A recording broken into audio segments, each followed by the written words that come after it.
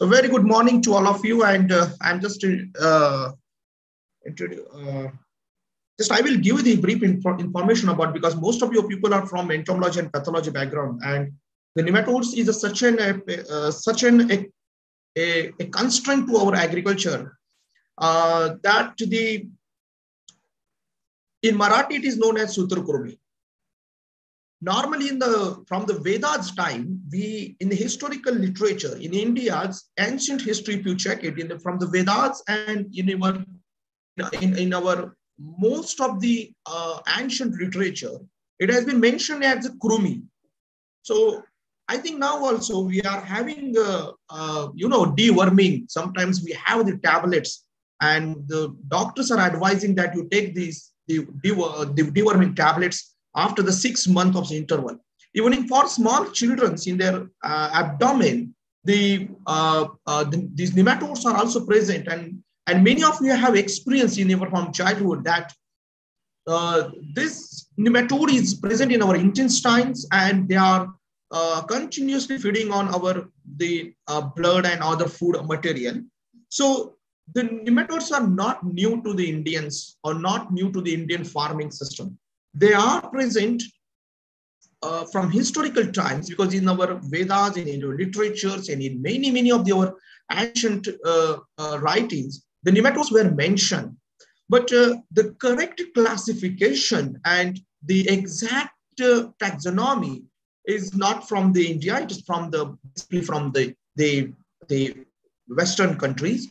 So the nematodes is nothing but nema means, uh, nematodes means it's a roundworms uh, it's a separate phylum is there, just like we have the phylum in animal kingdom, uh, phylum Coelenterata, phylum Porifera, phylum uh, uh, uh, phylum uh, Porifera, Coelenterata, uh, Insecta, Mollusca. These are all phylums, just like the the nematodes is a, a separate phylum.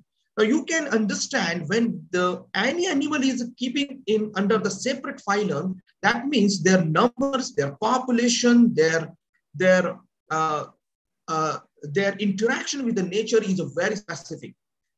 Mostly the nematodes are soil inhabitant and they are water loving. Let's say it's they are hydrophilic.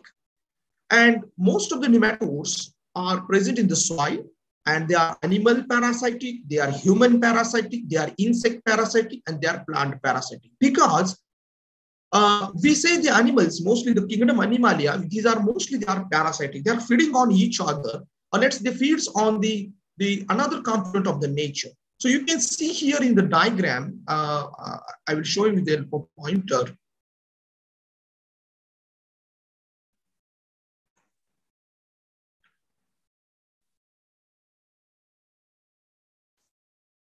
So in this, uh, uh, you can see here, this is the typical plant parasite nematode. Now, how are uh, how you would say that this is a typical plant parasite nematode? Because the body organization is a such a way that the, here is you can see the stylet.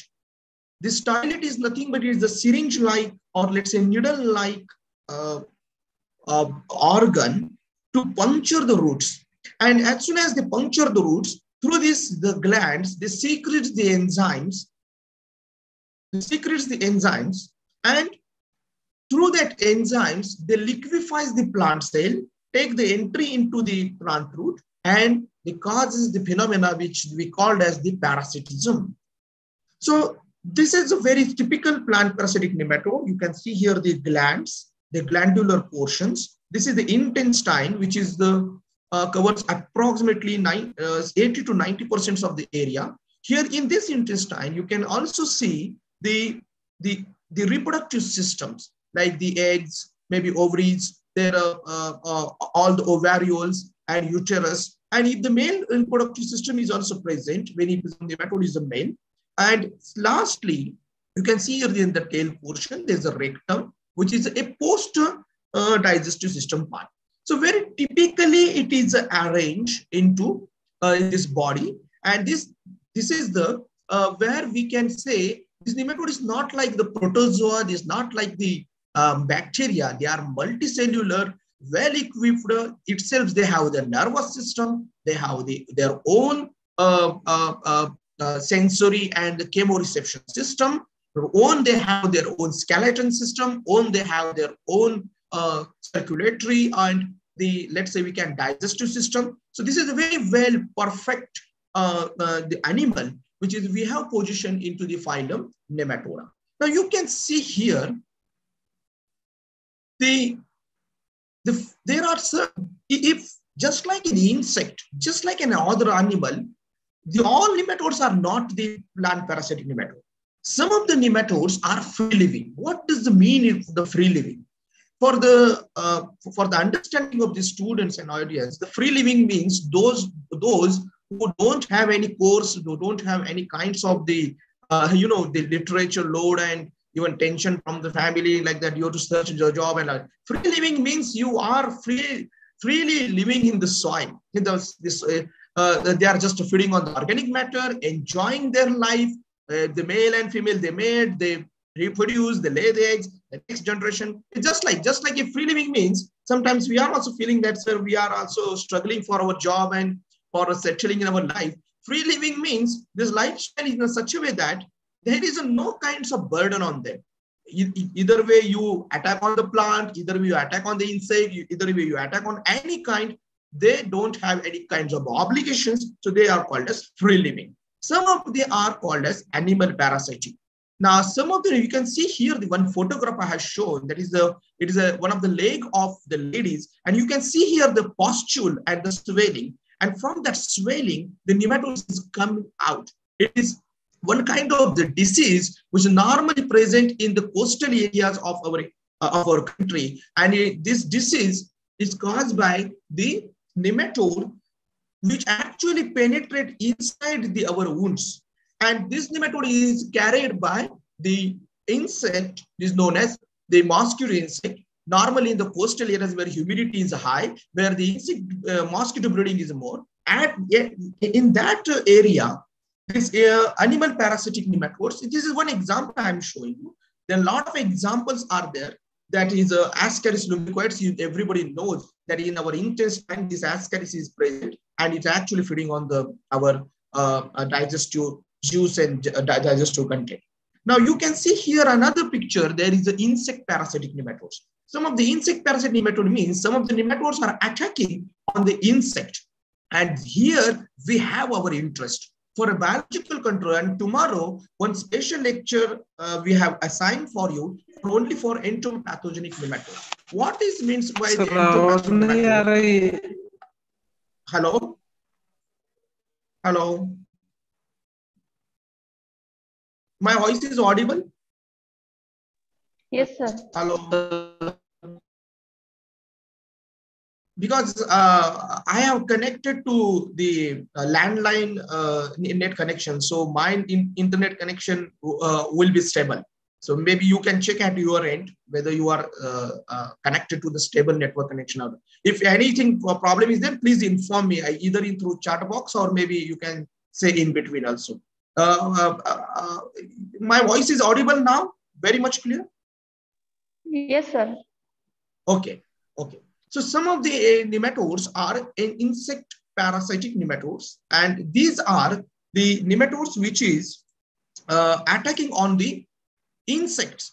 So attacking on the insects means you can have their you can have our interest because the insects are also causing a lot of damage to our crop plants and here we want to reduce the load of the uh, uh, uh, uh, use of the chemicals and utilization of the agrochemicals in our environment and in nature, particularly when we talk about the, the green farming or let's say organic farming, where the, the nematodes which are attacking on the insects have prominent role. Here you can also see the nematodes which have the stylets in their mouth. That is the plant parasitic nematodes. And another picture I'm, I will show you here, the nematodes which is feeding on other nematodes like mononchids. Some of the nematodes are attacking on other nematodes, just like some of the insects are also attacking on another insects also.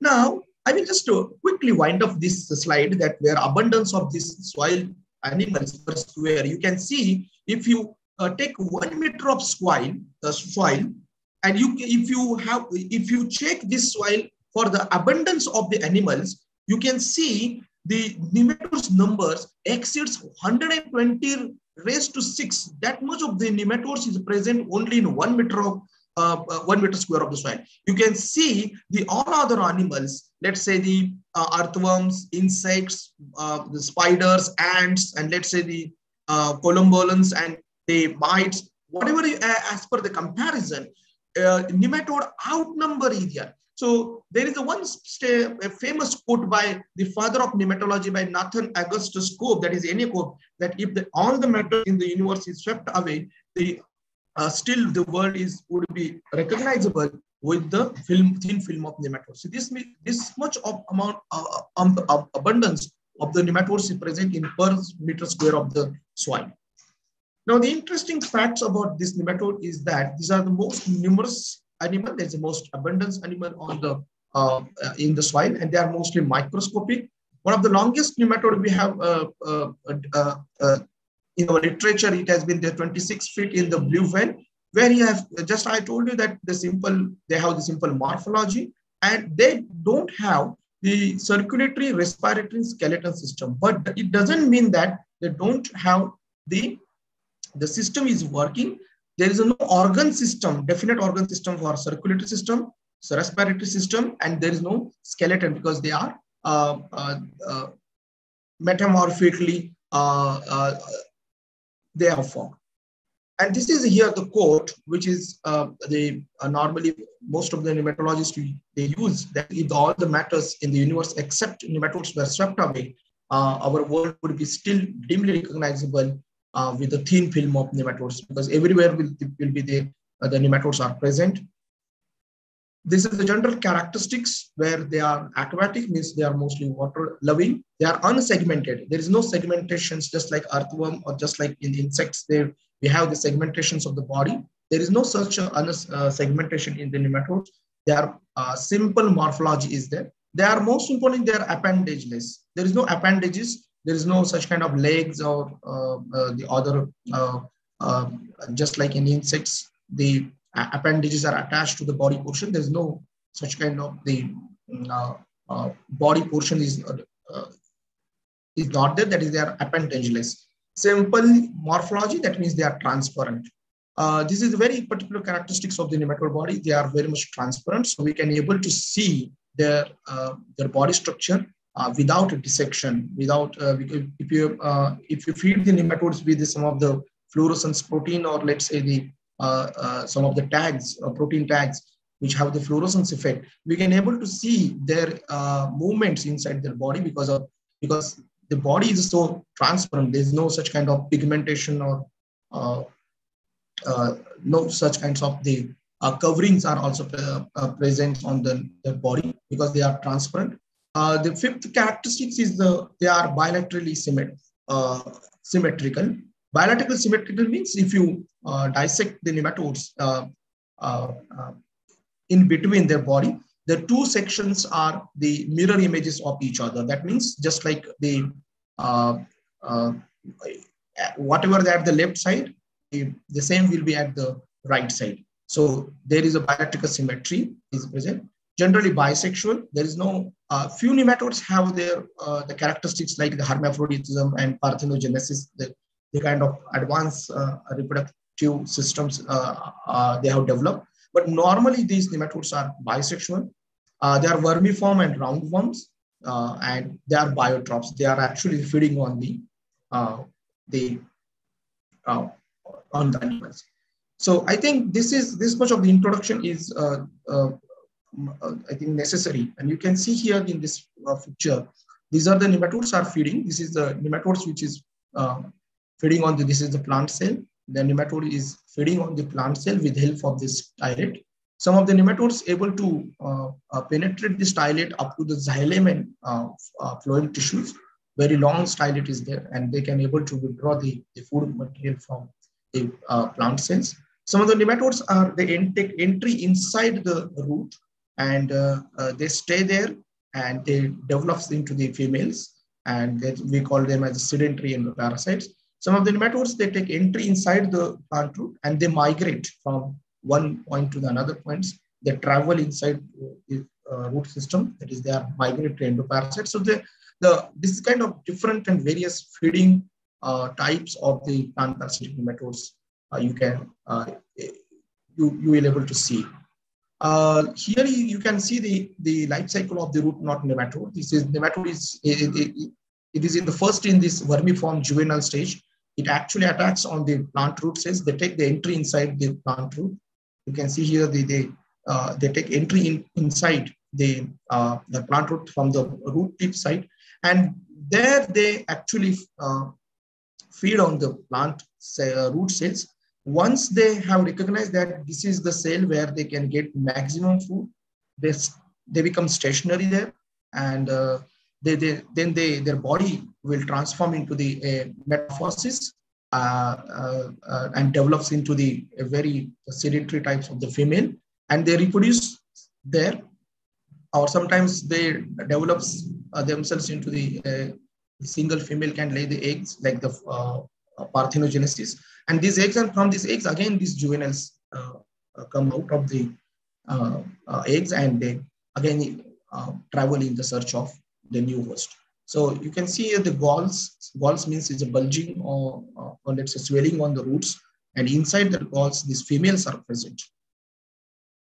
Uh, so the damage is caused by the nematodes is, uh, uh, you can see the pictures here, the foliars damage, mostly the because the attacks on the root, uh, particularly the root system is uh, uh, uh, is much more damaged, and because of that, the translocation of the nutrients, translocation of the water, the uptake of nutrients, water of the plants is hampered, and because of that, the the plants is unable to cope up the abiotic and biotic stresses. You can see here the banana plants.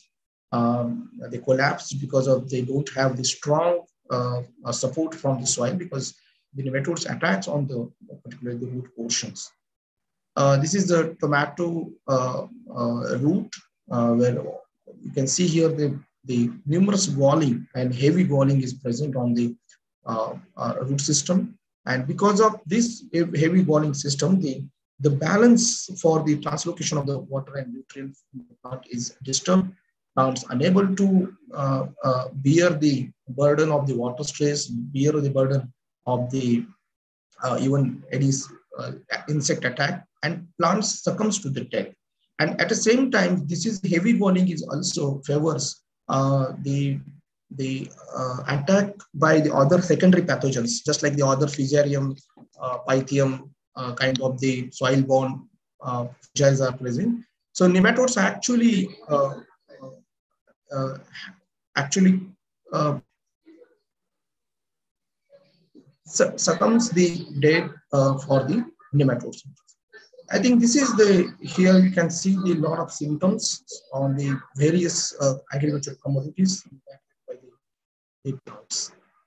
So this is all about the nematodes and uh, their, the, how they cause the damage to the uh, our crop. Uh, any question uh, up till now? Because uh, if anyone have any questions in their mind that so how is the methods and what is their importance in in our production and any any question? Hello? Hello? Am i audible? Yes sir Yes, yes any sir. questions up to uh, any question uh, up till now that how the nematodes and how the importance there in the please speak of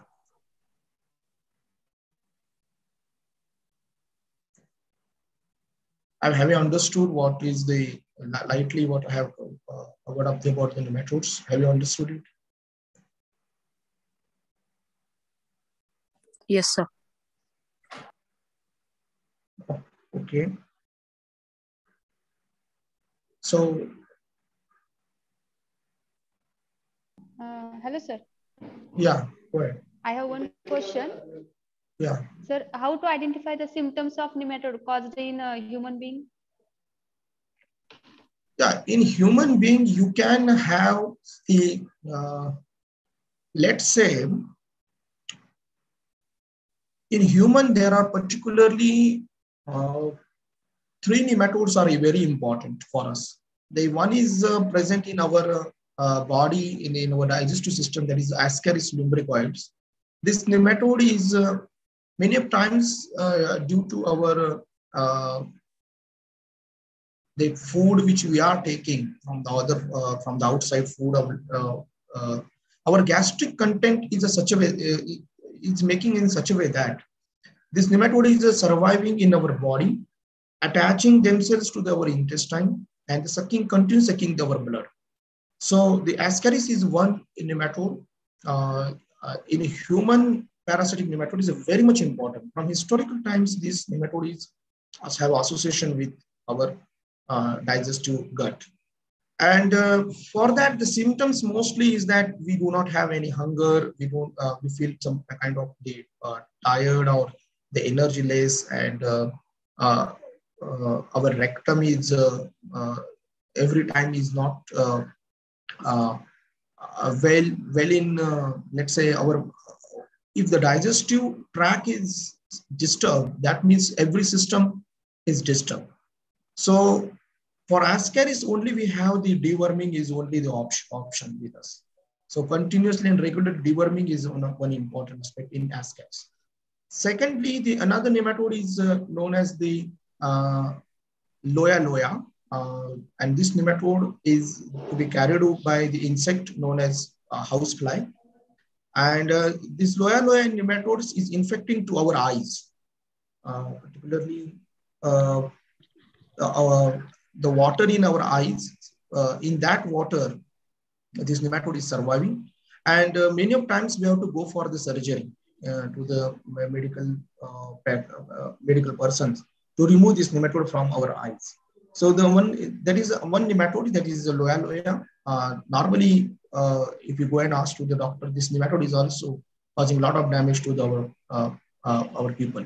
And third one is the entro enterobius, which is, uh, I've shown you the uh, enteroculosis, that is the in the wounds.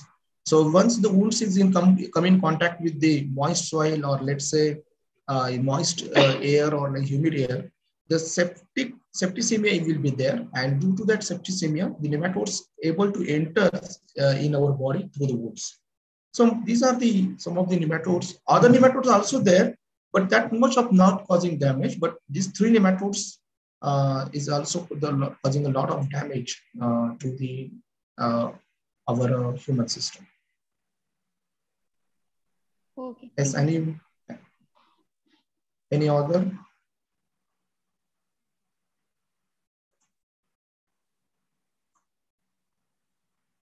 Any other? Uh, any any have any questions that how to uh, we can have the questions on this, how the nematodes are causing the damage to the plants and how to identify them. Uh, because in the farmer's field, we do not know uh, whether because the nematodes is attacking on the root portions. And if you, if you go for uh, observing the each and every root, that will be the destructive uh, process. So uh, how to then uh, identify the, the symptoms caused by the nematodes to the plants uh, that that is the most important and a very difficult task before the, all the uh, crop protection scientists that uh, whether this uh, plant is uh, infected by nematode or it is by uh, any other fungi or bacteria or let's say from the insect point of view. That, that is a very very very critical process where we have to identify whether observation of the roots is only the way to to finalize the that uh, finalize the our uh, observations in such a way that that uh, the nematodes causing damage to the plants. Okay. So any questions with respect to, the introduction? If not, then uh, we can go we can go for the management aspect.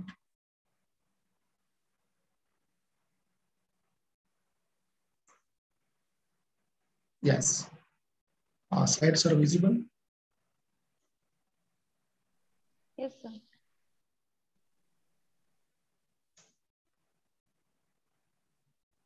Okay. Uh, you can have, I think uh, in your daily uh, newspaper reading, you might have come across the, the readings from that the our poisonous, uh, our pesticide are turning into now the poison. Uh, because uh, agriculture is a, such a multi-faceted profession where the uh, all our private partners, government, uh, uh, from government point, research point, R&D, private and their R&D, regularly they are updating, regularly they are evolving with the new molecules of the pestic, of the pesticides to control the insect pest and the diseases. And I think from uh, most of the you are from aware about it that uh, how the, uh, the historical developments have taken place in the pesticides uh, insecticides, even uh, in the uh, fungicides also. initially, we were using the halogenated carbohydrate, halogenated carbons or related compounds like BHC, DDT, aldrin, like compounds we were using. And after this, uh, uh, the Silent Spring book, that's by the Rachel Carson, um, we were aware that the if you are continue to use these kinds of the poisonous chemicals in the environment, definitely it is going to affect our, the ecosystem, uh, to the particular the human existence also, because nowadays these chemicals are everywhere in our food chain. So uh, that's a, that is what we have to do for the, the management because we don't want to control uh, each and every one because everyone have their role in the ecosystem.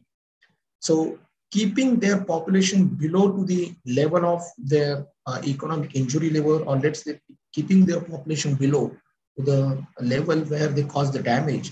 That is, I think, the management we are actually um, uh, uh, actually what we are understanding. And here, particularly when nematodes uh, uh, uh, we can have a lot of strategies for the management of the nematodes. Let's say the first strategy is that you can see here the a strategy like the uh, deep plowing. Now it's very simple agronomical practices. That is, uh, uh, in the summer, in the month of the summer, we are actually plowing our land. Uh, uh, a very deep plowing, uh, the practice is normally Indian farmers are using. But it's a very much importance for the also keeping the population of the nematodes below. How it is because we are exposing these nematodes, which are exposing the the nematodes is present in the soil. So any uh, operation in the soil and then expose them to the a heat or expose them to the a, a, a sunlight uh, will have the beneficial effect. Uh, uh and uh, this is particularly normally happens where it's particularly followed in the uh, for the management of root knot nematode, let's say reniform nematode in the cotton, root knot nematode in the vegetables, even um, uh, deep plowing is also is practicing in the uh, mm, uh, particularly in the North India for the control of the uh, cereal cyst nematode in the wheat. So deep plowing is there uh, very much uh, impact on management of the nematodes because the nematodes undergoes the anhydrobiotic stages. Nematode undergoes the water stress situations. Nematodes uh, they have developed themselves into such a way that they can able to survive under any uh, any conditions. There is no water no air no uh, uh let's say uh, oxygen even. But if you expose them to the uh, Uh, sunlight or let's say to heat uh, the that can able to eradicate or that can able to keep uh, manage the their their survival stages or let's say we expose them to the heat, uh, what will happen that it will going to kill the uh, uh, there these are the stages like the cyst some of the cyst stages are there like some of the eggs are also there uh, if we expose them definitely they have the their lethal effects so this is the deep plowing which is a very normal agronomic practices particularly i think you have also have known about this deep plowing it's um, uh, only one common operation for control of also the the diseases like insect, soil-borne insects also. The next one is the soil solarization. I think you have uh, might have known about the soil solarization. It's very much uh, practice we are actually following because we are a tropical country where we receive the maximum sunlight uh, in the daytime. And in the soil solarization particularly, we have the, we are covering the soil uh, with the thin film of this uh, uh, polythene paper. and what we are actually here following is that we are trapping this heat inside inside to these beds and we are raising the temperature of that bed certainly by 3 degree to 5 degree uh, as compared to the outside temperature and which can enough and which can uh, uh, uh enough for to control the nematodes inside the there. Particularly in the nursery beds where the nursery are present, these soil solarization practices are followed. Seed treatment, uh, uh, because most of the nematodes are seed borne, they uh, take entry from the from the very initial stage of the crop. So seed treatment also uh, is very very important. which can able to eliminate and control the nematodes at very at early stages. Then various agronomical practices like the uh, trap cropping, intercropping, relay cropping, uh, which have, because if you change the crop phenology, uh, it definitely going to hamper on the, the nematode population status. Uh, if you, uh, you can see here, the wheat is uh, cultivated with the maize. So both are from cereal, but they don't, but, but both have their different crop environment. So it, it is going to affect on overall, it's going to affect on soil uh, ecosystem and which is uh, not favorable to the nematodes. So uh, many of the agronomical practices also uh, uh, uh, are used to control the nematodes. The next one is the botanicals. You can see the neem and marigolds which are planting. Uh, neem cake is uh, very much important. My slide, my slides are visible. Not, visible. My not visible. Hello.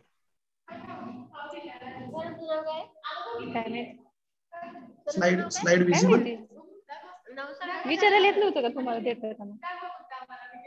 Hello. No, sir, your slides are not visible. Nice, sir. Nice, sir. Slide दिसत नाही.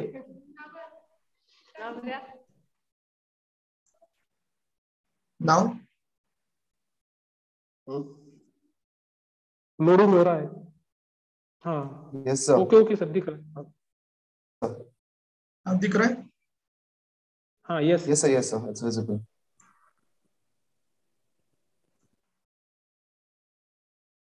Okay. So most of uh, uh, the botanical source we are using um, most of the plants they have the nematoxic or nematocidal compounds. Uh, let's say neem having azadirachtin and marigolds having alpha terthienyl in their roots. So uh, if you incorporate these compounds into the uh, uh, in the soil, uh, these have have their allelopathic effect, or let's say the very repellent effect in the soil, and that have also have the control of the nematodes population. The next one is the biological control.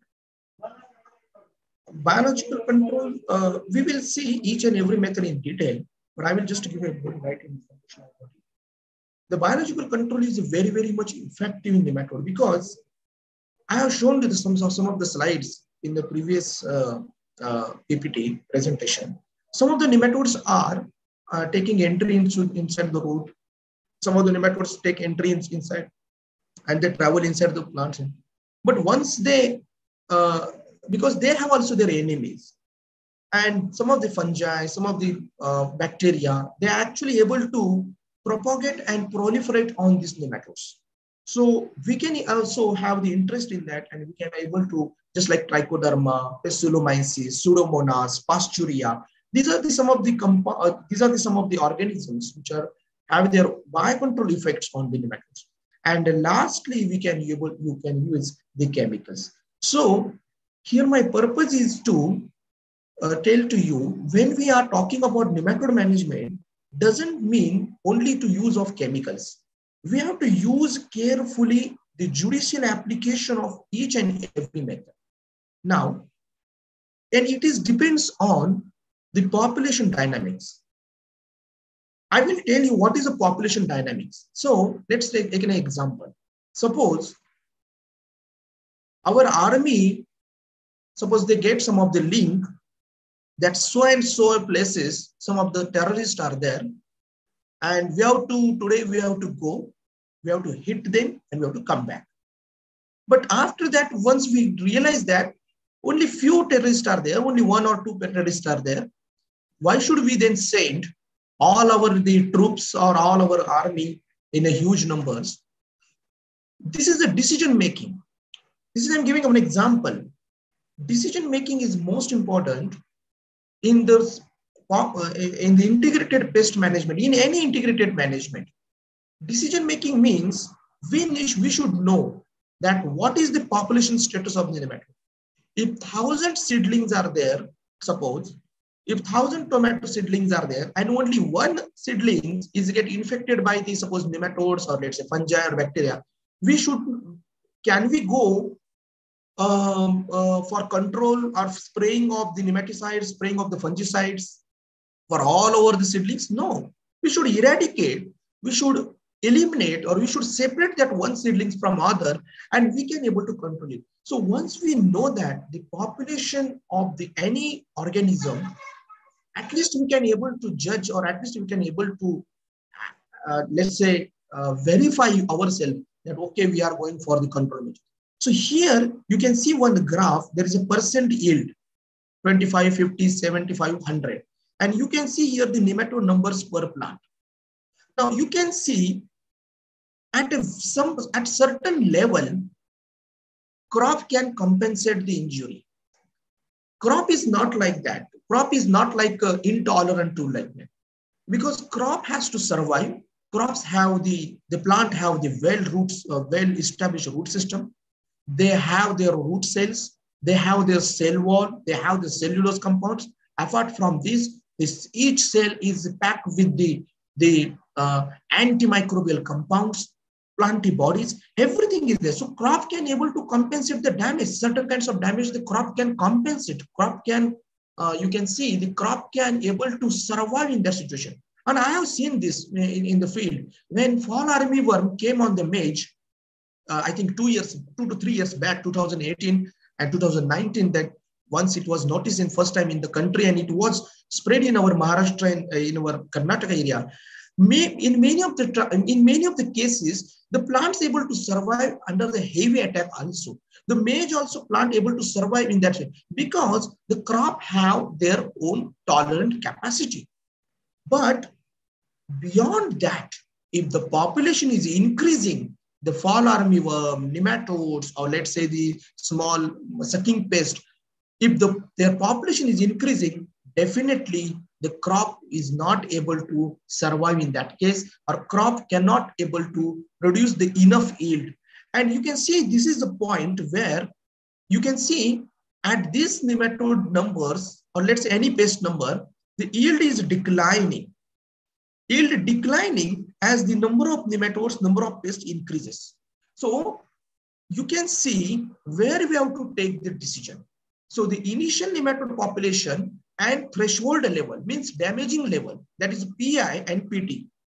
So why I'm telling you, my friends, because in most of the question, uh, in most of the SRF and NET, they are asking the uh, very tricky question on this. That what is the initial population, what is the final population, and what is the threshold population. So you can see here PI, PT, and PF. PI means initial population level. Initial population means initial at when you are sampling with at that an initial population level. PT means a threshold level. Threshold level means your damaging level. Let's say the pathogenic level means the level at which they cause the damage. And PF means a final population. So nematode control required only if PI is greater than PT. If the initial population level is, is more than the threshold population level, definitely we have to go for nematode control or nematode management. So the nematode, we have, this is here mathematics we need to understand. And, and my friends, this is where all crop protection scientists should work, should do some of the research. Because why people are using agrochemicals in heavy quantity, in heavy doses? In universities, in ICAR Institute, in, in every R&D institute, they say suppose uh, 2 gram per liter of the water. Suppose any chemical XYZ is 2 gram per liter of water. When the farmer reaches to the any agri clinic or let's say farmer uh, uh, uh, uh insecticide seller, he says instead of 2 gram, you can use 4 gram. And when the farmer at on his own field, when he using, he is using 10 gram. Why? Because he understand that if I use the maximum quantity of in insecticide or maximum quantity of pesticide, my I will get immediate result. My pest my, my pest population will be lower down immediately. But that does mathematics doesn't work every time. And because of this, 99% of the chemicals are wasted in the nature. Only 1% is reaching to the pest. Same is happening in the nematodes also. If we don't know the population level, we don't know the exactly the my numbers of the nematodes in my field, in my nursery, in my uh, polyhouse, in my greenhouse, we do we do not able to uh, uh, justify ourselves to take the nematode control measures we should take or not. And this is here where most of the uh, mathematics goes wrong. And that's why we are having the, our sprays is turning into the poison sprays. I think normally in Maharashtra, particularly those, uh, those are from Maharashtra might have known about the how much chemicals we are spraying on cotton, how much spray chemicals we are spraying on the rice, how much chemicals we are spraying on grapes, how much chemicals we are spraying in pomegranate. It, it, it, this, is, this is just a vestige because because we don't know the population dynamics. If you know the population dynamics, definitely we can able to target, we can able to hit the stage where our, uh, our aim of nematode management, our aim of management of pest can be achieved. And this is so where we actually work on it, all the scientists have to work on. And from here, we have to go for the each and every method. Now, I will first cover the prevention and regulatory methods or let's say legal methods. I will not go into the deep aspects of this. Uh, I, I, uh, I will not make you bore regarding to it because you all know, you have all background regarding it. But just I will give the very light crisp about it, which is most important for your examination point of view. What is the prevention? Many of the times, and I think most of you have seen and we have experienced from last two years, that uh, the, during this COVID period, uh, this statement is, I think, is most important nowadays. That prevention is better than cure. Uh, daily we are using the mask, and that is only the uh, uh, the measure we can have that prevention is better than cure. So, what is it means in case of nematodes or any pest? Prevention means at least we can able to check or control the spread of the diseases. I will give one example in this. Uh, in pomegranate, oily spot disease is present that is due to the bacteria.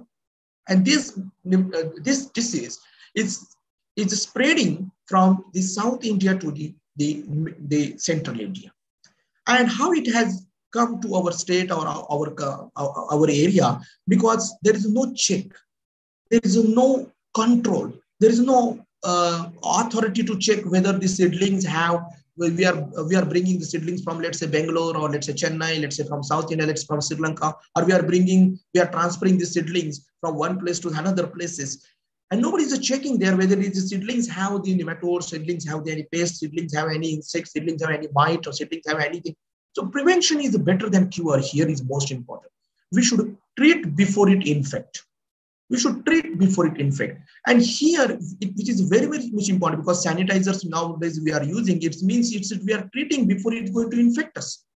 So legal enforcement is most important. And in India, from the British times, we have the laws and we once one law is, I think everybody know, is the DIP Act. And that DIP Act was a, a passed in, in the 1940, uh, 1940, 14, where uh, we have the checks on prevention of the introduction of these some of these pests. And one organization is working. Uh, this question asked in one of the NET examination that which organization are, uh, is working in uh, regulatory measures for control of the insect pest in India, and that is the Directorate of Plant Protection, Quarantine and Storage. It is in the Faridabad and which is working under the Ministry of Agriculture, Government of India. And through this, what is most important that international check and domestic check. International check means they are our airports, seaports, land ports, for commercial, uh, the material is coming from commodities coming from the outside the country. We are checking at our airport, seaport, and we are giving uh, this um, uh, the license. Let's say it's a quarantine license is there. So we are giving the quarantine license to the, that commodity, and then and then the after the thorough inspection by NBPGR, that is National Bureau of Plant Genetic Resources, uh, thorough inspection by the, the, the scientists from this, this institute, then and then the commodity is allowed to uh, land in our India. And this is, happens in most of the times. I have heard one case that one of the potato consignment was uh, was arriving from the Western country to India.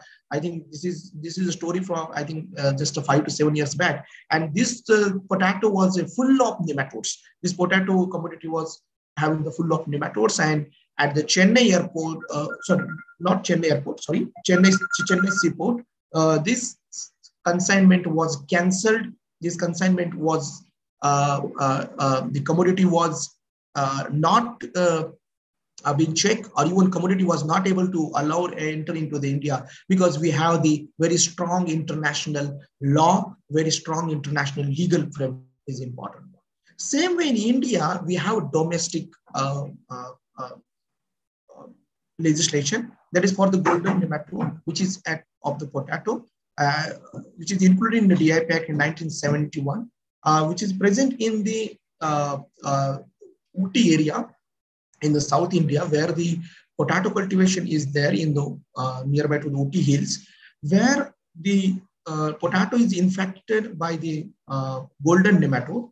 And if you go uh, if you are traveling in that area and if you wanted to come back to your state, you have to go through the domestic quarantine. That means you have to wash your shoes, wash your clothes um, uh, at the airport and seaports. So, so, uh, so that the nematodes uh, is not able to uh, move from the uh, that area to the new area. So this is the one uh, TNA Act is also there. State-owned legislation is also there, and central legislation is also there in spite of these legislations, we still we do not have very strong uh, uh, legislation in the domestic transport, where most of these seedlings, most of these nurseries from the South India, most of nurseries from the Maharashtra, we are able to send the seedlings to the each and every corner of the country. And from that seedlings also the nematodes or maybe another, another pest diseases, disease samples are also going to the uh, and reaching to the each and every corner of them.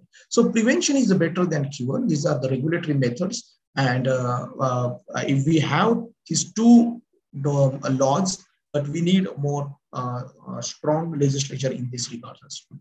Now comes to the physical method. The physical methods means use of the, the, the thermotherapy or let's say cold therapy to control the nematodes because nematodes uh, can't tolerate the temperature beyond 15 degrees Celsius because it's very soft animal and uh, uh, it's unable to control, uh, unable to survive beyond the high temperature like 50, 60 degrees. And the, this tolerant range we can use uh, for the seed treatment. And that is a hot water treatment. We can, uh, uh, this strategy, we can use it. And um, the hot water treatments means we have to dip the seeds or planting material into the hot water. and for the bulbs, palms, tubers, rhizomes, or let's say in the seed material, this is very highly successful method. Normally people are using now nowadays. But here, what is most important is temperature and time combination is most important. Uh, temperature and time combination because these hot water treatments, uh, here objective is to only kill the nematode or only uh, eliminate the nematodes which is residing inside the seed. But if you keep the seeds and planting material in this hot water for a longer time, it definitely going to affect on their germination because it's going to hamper on the embryo and other uh, uh, uh seed parts. So temperature and time combinations are standardized for each and crop, uh, each for each crop in each material. Uh, like uh, the in case of the ornamental crops, like the where bulbs are there, to control the bulb nematode like Ditylenchus dipsaci, uh, we have hot water treatment, 50 to 60 degrees centigrade temperature is there. And we have to deep only for the 15 to 20 seconds. seconds. Then white tip nematode of the rice is uh, Aphelenchoides besseyi. In the rice seeds, we have to deep these seeds only for the 30 to 60 seconds in, uh, in the 50 to 60 degree hot water. Afterwards, you have to remove the seeds, dry in uh, under the shade, and then you can go for the planting. So the physical methods means it's just use of the one of the force of the, the nature force that is temperature to control the nematodes. Uh, I think uh, should go for the soil solarization because it comes under the physical method. So soil solarization means uh, I have told you about this the uh, wrapping of these uh, beds with the help of the uh, plastic paper and this plastic paper are should be of white color or black color. Black color is for to control the weeds, but white color is uh, to control the nematodes or let's say soil-borne pathogens. And the mechanism here in the soil solarization, we are actually trapping the heat inside the uh, these beds and creating a greenhouse, small greenhouse effect. We are raising the temperature of the beds by five, uh, three to five degree as compared to the outside and that the raised temperature is enough to kill uh, uh, the nematodes, their surviving stages inside the beds. So soil solarization, you can uh, uh, you could have seen in the most of the nursery beds, they have used the soil solarization as a measures to control the nematodes or let's soil-borne pathogens. Very effective method, and um, uh, only one thing is here important that we have to cover up these beds fully because there should not be any leakage. And we have to moist the soil, moist the bed. Because in the dry, if you go for heating the dry soil, the nematodes undergoes the anhydrobiotic stages. And once they have gone to the anhydrobiotic stages, then again, it is very difficult to control the nematodes even in, in soil solarized beds. So what is important here, you have to moist the soil, moist the bed, cover up with this, uh, the uh, uh, with the polythene paper. And uh, you have to keep this for 15 to 20 days. So moist soil will, what will happen? In the moist soil, these propagules or whatever the resting stages of the nematodes are there, they will uh, they will not go under the, under, anaerobic stages. They will comes to the the normal their vermiform stages, and then they are exposed to this heat. So this is the mechanism which uh, people have to use because soil solarization normally uh, in the nursery beds, is very much uh, useful strategies there. So it's called as plastic mulching or let's say soil solarization. Next comes to the cultural methods where our agronomic interventions is most important uh, uh, because um, most of the nematodes are, uh, are very crop specific. Uh, like let's say the Heterodera, Avenae, cyst nematode, there's a rotation of this crop with the another non-host crop. Let's say growing of the non-host crop in between two susceptible ones, or let's say non-host crop, uh, which is economically viable. And uh, if you rotate this crop with the other crops, the soil and crop environment will be altered, and this alteration will have definitely on the nematicidal effect, or let's say uh, the effect which is not favorable to the nematode propagation so this culture methods, there is a crop rotation. Then you can see here the wheat uh, is growing. So if you uh, a rotation with the wheat and wheat and fenugreek and wheat, definitely you can see here the difference of wheat after wheat means uh, the crop after crop. There is only monoculture if you if you favor, then the nematode population will build up within a, a short period of time. But if you rotate with uh, another uh, the crop like the fenugreek or uh, let's say gram or let's say uh, pulses, uh, it will definitely have the impact on the soil nematodes. Now, most of the nematode disease is spread through the planting material, like burrowing nematode in banana suckers, citrus nematode in citrus samplings. This I, I told you that is the healthy planting material is the most uh, we have to use. So whenever we are choosing any seedlings from this nursery, uh, we have to see or we have to check whether the seedlings are to be infected by nematodes or not. Uh, because once the nematode is entering in our main field, it's very difficult to control. So health, uh, uh, uh, choosing the healthy planting material is the most important. Then crop sanitation, sanitation. Means removal and destruction of root stubbles soon after the harvest. Uh, particularly though some of the nematodes they resides in uh, uh, into the the, uh, the uh, root stubbles or let's say in the crop leftovers, and where the nematodes able to survive and able to infect in the next next season crop. Organic manuring and amendments these are are most important. they have dual effect. That one effect is they increase the population of microorganisms, uh, including nematode enemies and antagonists. And some of these organic manuring like FYM or let's say uh, slurry, they, they have the decomposition products like fatty acids, which are uh, very toxic to the plant, uh, plant parasite nematodes. And finally, they also, they leads to the improve the growth by uh, making available in the nutrients to the plants.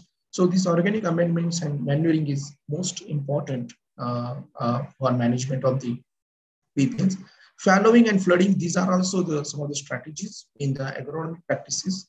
Uh, particularly fallowing means we have to keep our land fallow without cultivating.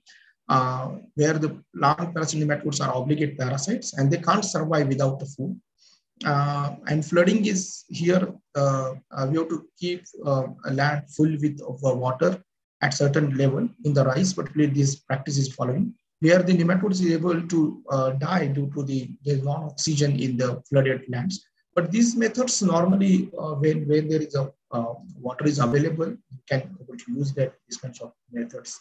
Then trap crop, trap crop means they can able to trap the nematodes like crotalaria, one of the plant, uh, where the nematodes is able to penetrate inside the roots, but can't develop furthermore. So we can use these such kinds of plants as trap or we can also use the, the leaf of this uh, crotalaria as a green manure, uh, or let's say cake, neem, uh, a crotalaria cake for uh, uh, management of the nematodes. Some of the antagonistic crops, because certain uh, uh, crops and plants, they have the root exudates in contains nematoxic compounds like onion, garlic, tagetes, asparagus. They can be also you you can able to cultivate this crop uh, into the main field. And they can also use as an intercrop in the most of the horticulture crops. And the roots uh, exudates of these plants uh, they have the effect on the nematode population. Uh, time of sowing is uh, particularly in case of the uh, wheat where the uh, cyst nematode is able to infect in after the late sown wheat crop but advancing the crop sowing by two to three weeks escape the nematode infection. Uh, older crops suffers less damage the infection even endures uh, because older crops have their, uh, again, compensate the nematode damage. But if the, uh, uh, the late sown wheat or late sown plants, uh, if you planted or if you sowed, the particularly this susceptible stage of the crop is coincided with the uh, the pathogen arrival or let's say the nematode attack, and that also have the uh, uh, very economic impact on our crop plants. Now the host resistance, which is very very uh, another strategy because we need uh, some of the resistance varieties. The plants can able to even uh, itself repel or let's say destruct the nematodes a very effective, very economical method, uh, which is environmentally also safe. And uh, uh, some of the, you can see here the uh, barley, wheat, citrus, coffee, potato, tomato, coffee. Some of these uh, resistance strains and resistance selections we have, we have selected against some of the nematodes. And what is important in this resistance varieties that we have to uh, grow these resistance varieties even in the, there is a high population of the nematodes also there. So these resistance varieties able to uh, repel them, able to uh, even nematode infection is also there in resistance varieties, but that much of not causing uh, the economic damage to us. Now let's come to the biological control, where the uh, some of the nematodes I have told about this, the they have also they have their enemies. You can see in this picture one nematode is uh, able to feed on, on other nematode. Uh, but most of our interest is in these predaceous fungi. Most of the fungi are also present. They have they have their capacity to capture the nematode. You can they can they can have a capacity. Their hyphae uh, structure in such a way that they can able to trap the nematodes uh, with the help of these rings uh, around the nematode. And once the nematode is a trap in their network, uh, they propagate or they proliferate there on their body. So some of the nematodes like the Dactylaria, Dactyla, Arthrobotrys, Stylophages, these are, they have, they're trapping fungi because they have their attracting sticky knobs are also there. So once the nematode is uh, uh, uh, coming in contact with these kinds of the fungi or these kinds of these of hyphae structures, these hyphae attach to their cuticle. And uh, uh, once they attach to the cuticle, they're able to uh, produce the constricting rings around the whole of the body. And then they can able to trap the, the nematodes inside the fungi the network. So these are the Arthrobotrys oligospora is very, very much uh, even uh, uh, very very promising biocontrol agents. Uh, nowadays, we have the uh, uh, compounds and marketable formulation of this arthroarthritis. Very, very, very promising biocontrol agents because they have their targets on the nematodes. And biocontrol agents have their another impact is that they don't have any other effect on other organisms. They are very target specific and they are, you can see here the hyphae modification that they uh, uh, the sticky knobs are there. Some of the spores are also there. You can see here egg parasitic like Paecilomyces, uh, Lilacinus, and Pochonia chlamydosporium. These two fungi are egg parasitic fungi. They, they attack on the eggs of the nematodes. And uh, on the eggs, they their spore attached to their the, uh, uh, the chitin content of the eggs and they proliferate. The fungi penetrate inside the eggs and they can able to kill the, the the juveniles, which is the developing juveniles inside the eggs. So these are the some of the Paecilomyces and uh, is normally we have the uh, marketable formulations about this fungi and normally farmers are using these Paecilomyces and Lilacinus and Pochonia chlamydosporium. Very promising parasitic fungi are present. Some of these female parasitic fungi are there, uh, like the Nematophthora gynophila. Uh, although we do not have any formulation about this uh, female parasitic, but uh, uh, this um, uh, female parasitic fungi, they're found in the nature and they attack on the, the particularly the female of the root knot nematode.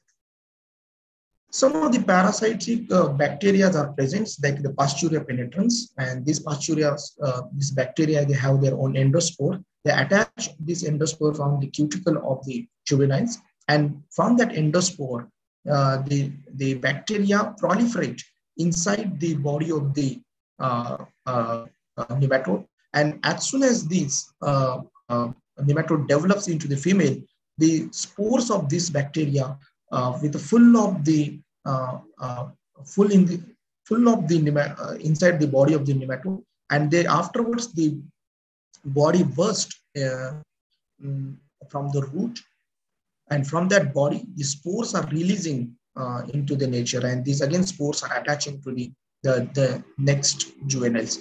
So these Pasteuria penetrans, uh, uh, in the Western countries, we uh, we have the one of the formulation of this Pasteuria penetrans, but in India, we do not have uh, any marketable formulation about this Pasteuria penetrans.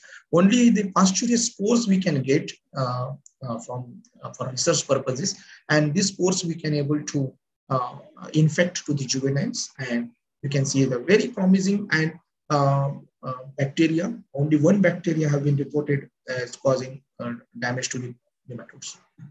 Uh, coming to the chemical control, and I think I, we have one lecture on nematicides, so I will not take uh, that much of uh, in a deep uh, way that chemical controls be in. and on the 4th of March, we have a lecture on nematicides and history and their formulations and their types. So only I will cover here when to use the nematicides or let's say uh, uh, nematode killing substances when PI is very high. So I told you that when initial population level was very high, uh, crop is very much valuable. Like suppose the ornamental crops are there, or let's say flower crops are there. And if you want the quick results, then and then uh, we, we have to use the nematicides. So, but problem with the nematicides is that they have the residue problem because I told you that 99% of these pesticides are washed away, you know, washed down into nature. They causes the groundwater pollution, uh, pollution or let's say environmental pollution. they are again toxic to the non-target organism. Uh, most of the chemicals like fumigants, they are having the non, uh, toxicity effect on non-target organism. And resurgence of the pest problem because we are targeting one pest, but many of the times happens that the very minor pest of the crop or very minor nematode of the crop is becoming a major nematode because the resurgence problem uh, due to use of continuous use of nematicides. And the, the finally, which is most important, that is cost consideration because most of the nematicides and pesticides are expensive. So they have the classification like fumigants and non-fumigants. Non-fumigants, we have organocarbamates and organophosphates. In fumigants, we have mostly uh, highly volatile compounds. The fumigants now normally uh, now fumigants are not using only at the very restricted level uh, at a nursery level. These fumigants are using. These are all fumigants which are mentioned here. These are all already been banned um, uh, because of their uh, high toxic effect on environment. But fumigants have their own uh, advantages. that fumigants, they release very slowly release their the chemicals into the uh, soil and they're blocking the enzymes of the nematodes. And because of that, the nematode is killed. But fumigants have uh, uh, particularly, they have very much toxic effect in the uh, soil ecosystems. And because of that, fumigants have been withdrawn from the uh, uh, market. But non-fumigants we have because non-fumigants means we uh, they uh, they have the contact and they have the systemic action. Uh, they are effective against insect also. They effective at low doses. Low doses. They effect easily apply and easily handle. They are less phytotoxic. And mostly important is that they do not have they uh, sorry they have the systemic in nature. So once we apply at one portion of the plant, we can able to get the results at another portion of the plants also.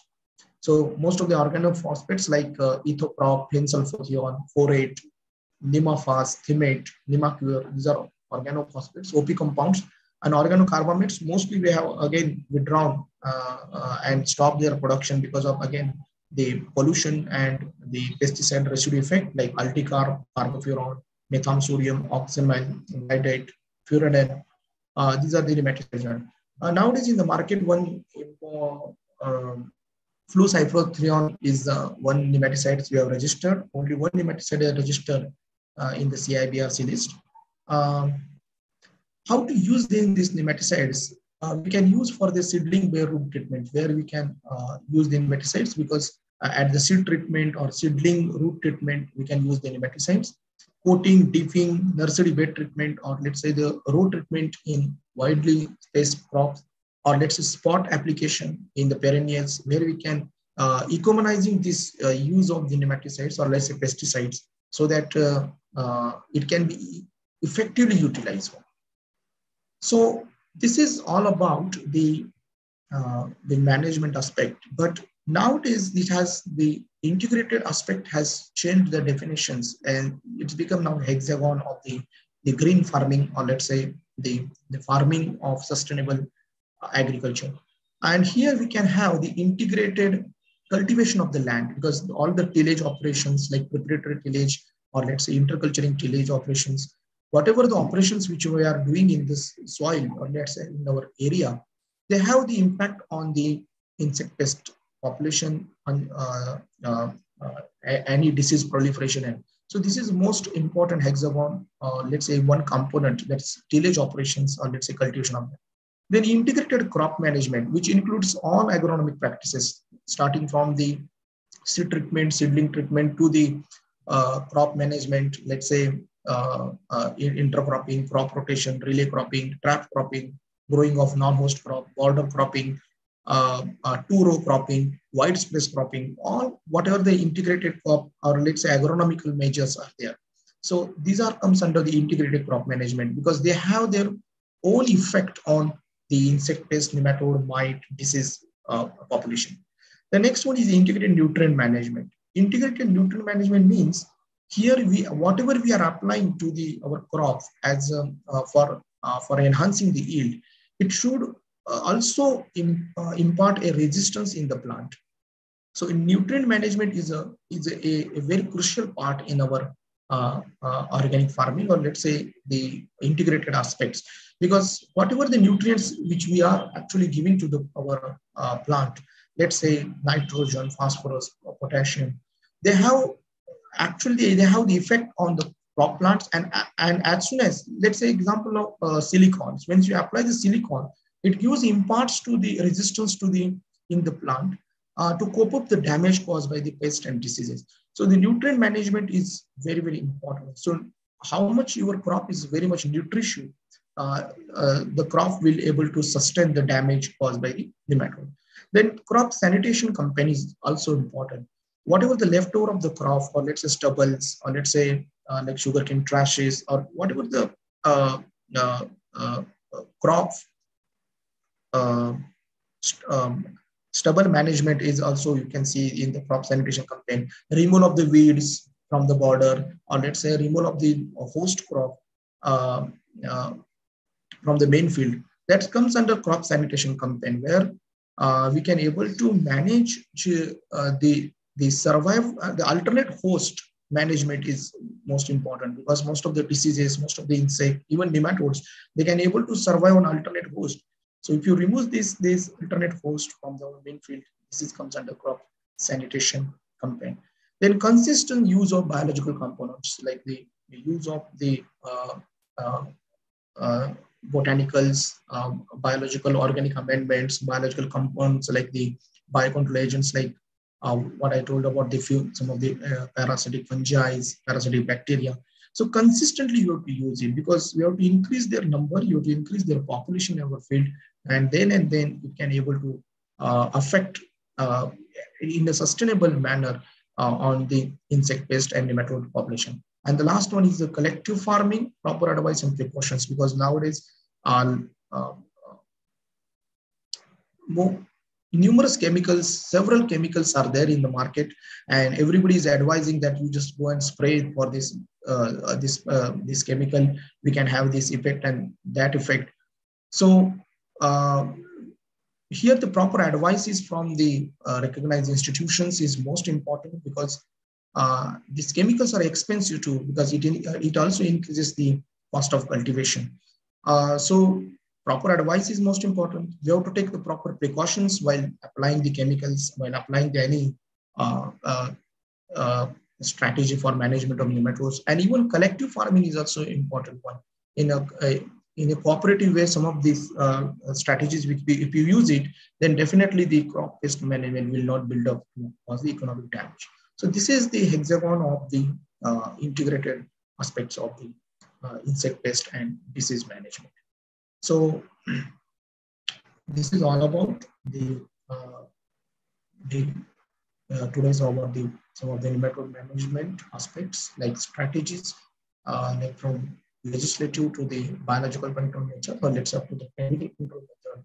Uh, we have mul multiple strategies we have, but selection of that strategies uh, and its application is uh, is uh, is most important. So this is all about uh, your today's topic of the uh, principles of nematode management. I have covered the not only on the aspect of nematode aspect, but I have also covered the uh, some of the strategies are also common to the insect pest and disease management also. So any questions or any doubts regarding to it, please go ahead.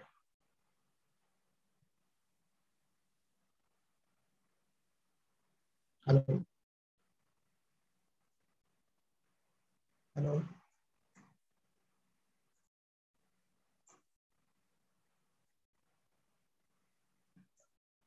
Hello.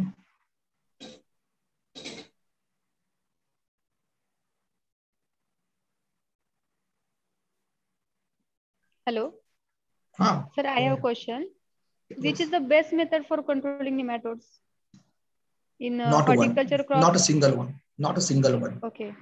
If in You cannot, crops, you cannot, you cannot rely on only one method because that is this Hmm. is the problem where actually integrated aspect means it's a judicial application of the each and every method. Uh, let's say the part of that method. So you cannot just rely on one method that uh, only by using the one method we can able to control the nematode. And if you are asking for the horticulture crops because the crop stand is a, uh, such in a long duration uh, where you have to use the multiple strategies. Let's say the uh, soil solarization from, from nursery point of view to the up to the last up to the biological control. So we have to use the some uh, methods in a very judicial, judicial way. Okay, sir. Thank you, sir. Anyone questions? Any other? Hello?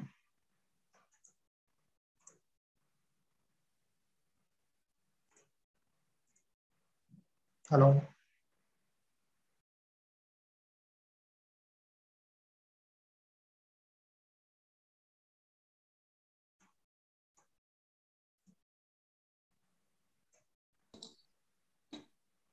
Uh, dear participants, if you are having any questions, you can ask please. Have you understood? Yes, sir.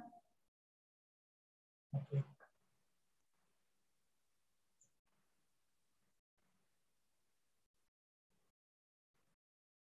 If there is no question, ah, okay, one chat box better. How can we manage root knot by biologically? I told you about the biological methods. It includes the, the particularly nematodes is present in the soil and the, there are in the soil, it's a eco-complex system where particularly the fungi and bacteria are the major enemies of the nematodes. Particularly the, uh, I had told about the nematodes which have their stages like egg stage, juvenile stage and adult stage. So egg stage, some of these fungi are attacking on egg stages. Uh, in case of root knot nematode, particularly the female lay the eggs in a, a masses uh, after 300 to 500 uh, eggs laid by the um, of the single female. So we have here one uh, strategy to uh, uh, to control the eggs by to control the nematodes and checking their further spread by use of the egg parasitic fungi like the Paecilomyces and Pochonia. These fungi they have their uh, let's say they have their capacity to proliferate inside the eggs. They can able to dissolve the chitin content of the eggs and they can able to kill the uh, uh, the developing embryo or developing juveniles inside the eggs. So this is one strategy where you can able to target the eggs. The second one is the on to females. So females, we have the Nematophthora gynophila. Only this, only one female, only one fungi is able to attack on the reproductive system of the female. And once it is damaged, the female is unable to give the lay, lay the eggs. And that, uh, uh, that particularly gives you use to stop the further spread of the nematode. The second one, uh, the third one is on the juvenile stages. And juvenile stages, we have the uh, Dactylaria, Dactyla, or Arthrobotrys fungi, which they have their uh, sticky spores uh, uh, as their surviving strategy. And these sticky spores attach to the nematode cuticle. And once these spores uh, germinate on their cuticle and they're able to penetrate their hyphae inside their body of the juveniles. So this is the strategy where in case of fungi, let's say take, talk about the bacteria where only Pasteuria is only one bacteria uh, we are using against the nematodes. And these Pasteuria, they have the endospores, they attach uh, uh, to the cuticle of the uh, nematodes, particularly to the juvenile stages. And these endospores, they remain attached to the throughout the life cycle of the nematode. And as soon as the nematode turns into the female, that's become, uh, become a, a, a sedentary female, from these endospores, the bacteria proliferates and propagates inside the body of the nematodes and they're able to kill the intestine and other uh, uh, body organ structures inside the female. So this is the strategy in case of the biological. But what is important here uh, we have to use the biological agents also in very careful manner because biological, uh, we have to give some times to the biological agents to work. Like suppose Paecilomyces, if we are applying, Pseudomonas, you are applying, suppose uh, we are applying. So we have to give them time. We have to create some of the favorable conditions to first grow and uh, let's say survive these biocontrol agents in our field. And then and then their population will increase in our field. So I think that will be the uh, that that is the most important uh, aspect in case of value. Devjit, what are the confirmed methods of field identification of nematode infestation without without doing isolation in lab? Uh, in, in some of the nematodes, you can able to identify the damage itself in the field. Let's say, let's say example in case of uh, vegetables like tomato, potato, chili, uh, uh, brinjal. Here in greenhouse, or suppose you are you are going into the field, you can able to see the uh, the fields are uh, the plants are died. Suppose seedlings are died. The drying is most uh, first thing, yellowing of the leaves, or let's say curling of the leaves. Uh, whatever the top portion of the plant is there, it is it, it, it's become devitalized. So this is ones where we can able to, you can predict that, okay, nematode damage will be there.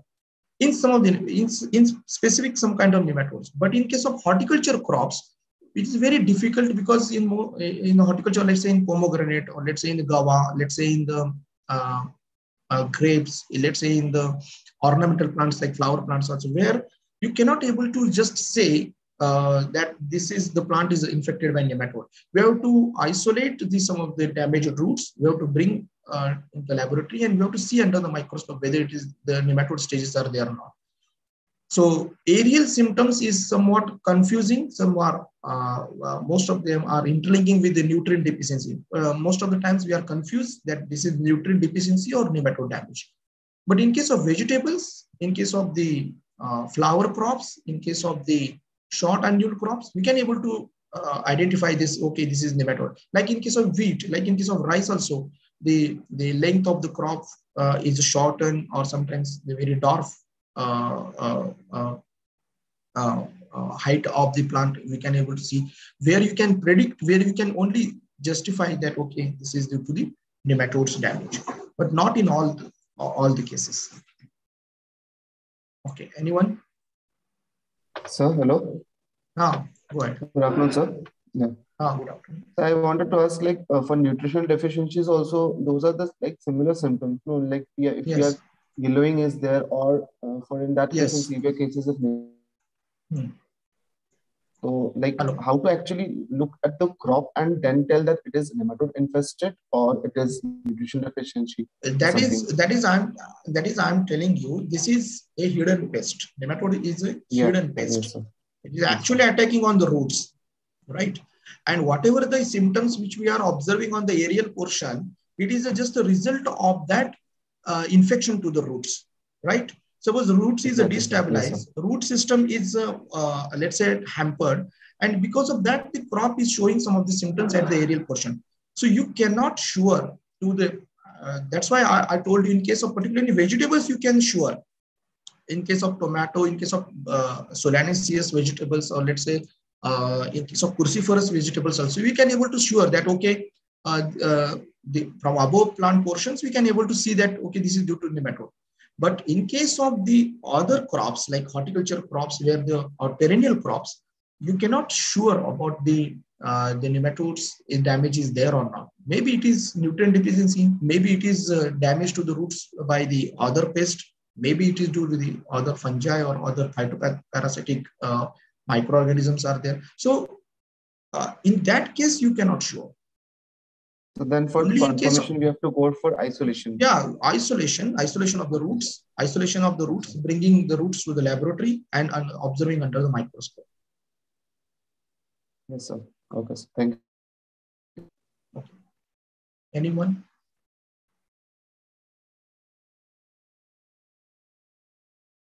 Anyone?